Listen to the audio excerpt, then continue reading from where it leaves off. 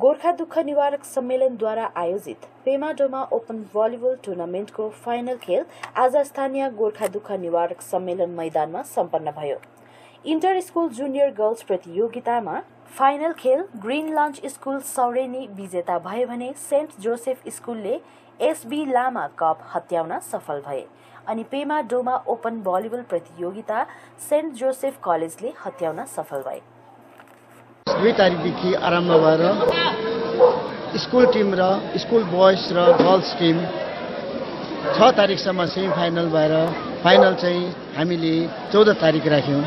सात तारिकदेखि हामीले पेमा डो डोमा कपको गेम सुरु गऱ्यौँ र आज अन्तमा आएर तिनैवटा गेमको फाइनल आज हामीले समा समापन गऱ्यौँ। रिजल्ट कस्तो प्रकारको छ? रि रिजल्ट केटीहरूमा परेको थियो सेमी फाइनल र फाइ फाइनलमा उत्तीर्ण भएका कर्स्याङबाट हिमाली हिमाली बोर्डिङ स्कुल कर्स्याङ भर्सेस सौ Saureni Green Lunch school Saureni माझमा भयो र तिनीहरू तिनै सेट नै ग्रिन लन्च स्कुलले जितेर यस वर्षको जिडिनेस इन्टर स्कुल गर्ल्स प्रतियोगितामा उत्तीर्ण तिनीहरूले जिते। त्यसरी नै केटाहरूमा केटाहरूमा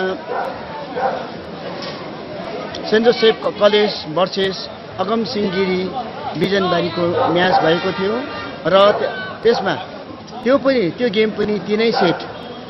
सेन्ट सेन्ट जोसेफ स्कुलले जितेर उनीहरूले यसपालिको एसडी लामा कपको विजेता हुनुभयो। त्यसरी नै open men volleyball Pemba Doma Pemba Doma सिल्डको प्रतियोगितामा Saint Joseph college versus ball blaster दार्जिलिङको माझमा भएको थियो। त्यो पनि तिनै सेट। सेन्ट जोसेफ कलेजले जितेर यो पालिको पेमाडोमाको चाहिँ च्यालेन्जसिल उहाँहरूले हटाउनु भयो त्यो मनी प्राइजहरू कति कति राखेको होला?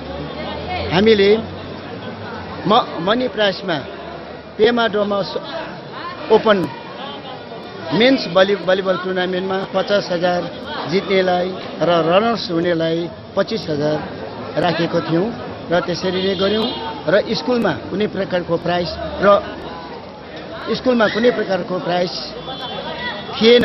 उनीहरूलाई खेली खालि ट्रफी मात्रै प्रदान गऱ्यौँ। त्यसरी नै यो तिनैवटा गेममा जो चाहिँ बेस्ट प्लेयर भए तिनीहरूलाई चाहिँ तिन तिन हजार गरेर बेस्ट प्लेयर्सको बेस्ट प्लेयर्सलाई हामीले प्रदान गऱ्यौँ। ओपन भलिबल म्याचमा एघारवटा टिमले भाग लिएका थिए भने स्कुल बोइजमा एघारवटा टिम नै र केटीहरूमा छवटा टिमले भाग लिएका थिए।